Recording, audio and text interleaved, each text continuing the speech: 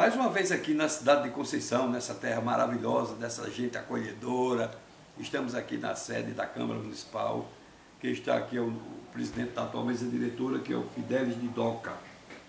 Fidelis, vamos falar um pouquinho aí sobre essa dinâmica né, da mesa. Nós estamos presenciando aqui realmente as boas instalações do prédio da casa. E de que forma você comenta, é, Fidelis, essa, essa, essa jornada de trabalho, né, sempre procurando é, dar mais condições de trabalho aos parlamentares, também aos, aos funcionários da casa e também acolher né, a população, as pessoas que procuram vir assistir às sessões aqui. De que forma você comenta toda essa dinâmica? Bom dia, meu amigo, que faz parte da imprensa, portal Imprensa Comunicação. É uma imensa satisfação recebê-los aqui na Câmara Municipal de Conceição. Como você mesmo já relatou, viu as ótimas condições de trabalho aqui na é, edificação no, no, na, no, prédio da Câmara Municipal, né? Quando assumi meu primeiro mandato como presidente desta casa, é, investi muito na parte de estrutural, né? É, fiz uma nova roupagem no prédio da Câmara, é, coloquei, mudei a cor, né? Deixei branco, foi uma cor que chamou muita atenção. Inclusive quero até ressaltar isso aqui, hoje é um dos prédios mais bonitos de nossa cidade, mantendo a estrutura é, do, do, patrimônio sem ter mudado a fachada, é, preservei.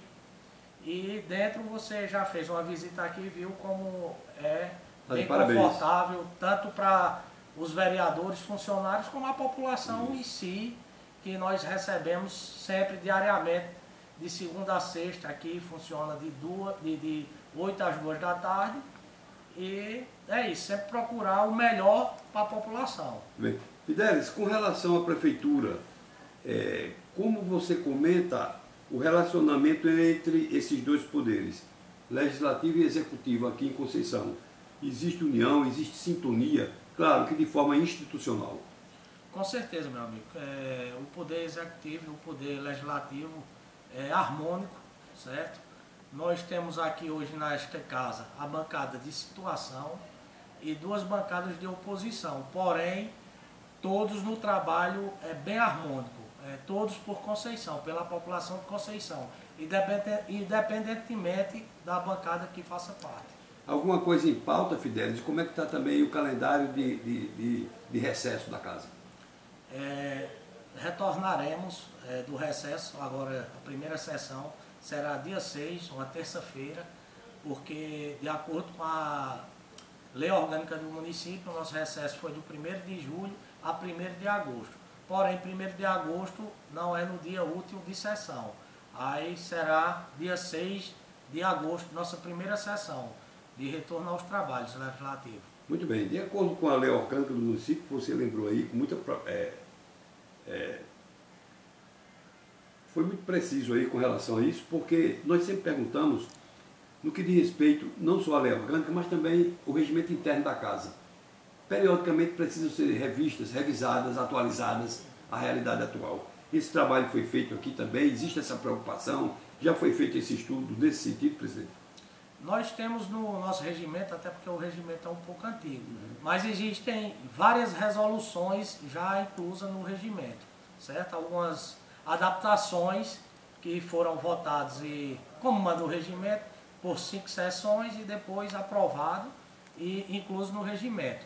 Tem muitas atualizações, são várias.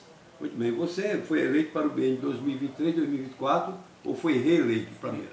Fui reeleito. Minha primeira é, gestão, né? gestão aqui na Câmara Municipal foi o biênio, é, o primeiro biênio 2021-22 e o segundo biênio 23-24. Então vamos aqui aproveitar o espaço do Portal Imprensa de renovar os seus agradecimentos a todos os seus pares que lhe confiaram o cargo de presidente da casa.